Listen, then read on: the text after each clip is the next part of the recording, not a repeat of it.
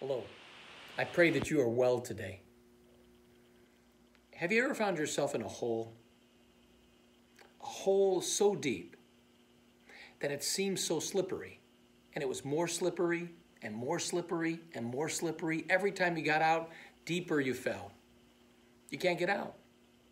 It's just so slippery. You're stuck. You ever felt that way?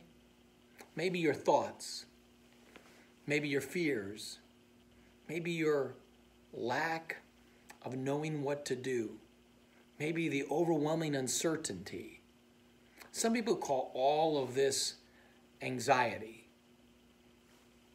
In Philippians chapter 4, verses 6 and 7, it says, Have no anxiety about anything. God actually says to you and to me, you don't have to have anxiety about anything, but in everything, everything, by prayer and petition, make your requests to God.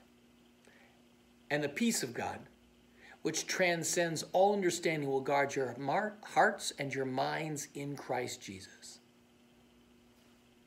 He goes on, whatsoever things are good or trustworthy, true, praiseworthy, think about such things.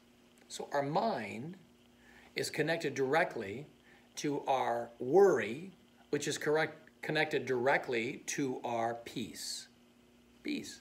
That's what God wants you to have today peace. Have you ever been overshadowed with anxiety? Have you just been filled with stress, with uncertainty, with fear, with lack of peace? God wants you to know that He's with you. Have no anxiety about anything, but everything by prayer and petition with thanksgiving. Present your request to God, and God will give you peace. And you think about the things that are good, not the things that are bad, the things that are beautiful, not the things that are ugly, things that are noble, not the things that are wrong. Have you ever found yourself caught in a barrel? Maybe a barrel of apples Think about that for a moment. And then water is poured on top of it. And you know what happens with a barrel of apples when water is poured on top of it? Apples pop up to the top. And you can pull an apple up and another one pops in its place, and another one and another one pops in its place. And it seems as if all the apples float to the top. All the worries float to the top of my heart and of your heart. I pray I pray that you are not caught in a pit of worry or a barrel of anxiety, but that you have the peace that passes understanding. Let's pray. Dear God, we pray for all of us who struggle with worry and anxiety and stress. We give it to you again. We cast all our cares on you because you care for us.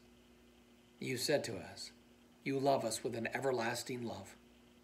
May we have that confidence, that peace, that strength, that hope, that truth that becomes the foundation of our very lives. For that we thank you and we love you.